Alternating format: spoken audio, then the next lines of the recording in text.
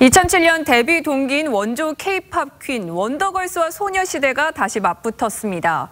원더걸스 출신 선미와 소녀시대의 새 유닛 그룹이 하루 차이로 복귀해 선의의 경쟁을 벌이고 있습니다.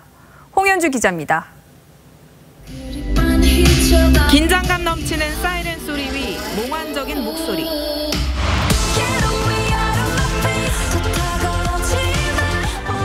가수 선미가 자작곡 사이렌으로. 선원들을 유혹해 바닷속으로 끌고 들어가는 신화 속 인어 사이렌을 소재로 했습니다. 뭔가 이게 디딤돌이 되어서 선미라는 장르를 이렇게 구축해 나가는 음. 네, 그런 의미의 앨범이라고 할 수 있죠. 가사에 충실한 포인트 안무와 과감한 퍼포먼스로 정상급 솔로 가수로 서게 했던 전작 가시나와 주인공처럼 사이렌은 발매 직후 국내 음원 차트를 석권했습니다.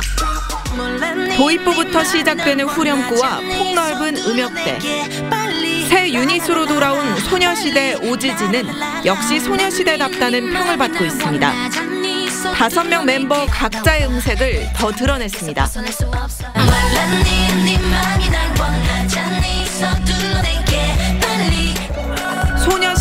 오지지는 컴백과 동시에 전 세계 20여 개 나라에서 음원 차트 1위를 차지해 글로벌 K-팝 퀸의 저력을 재입증했습니다. 11년 전 데뷔해 소녀시대와 원더걸스로 걸그룹 전성시대를 이끌던 시절처럼 소녀시대 오지지와 선미의 대결이 뜨겁습니다. TV조선 홍현주입니다.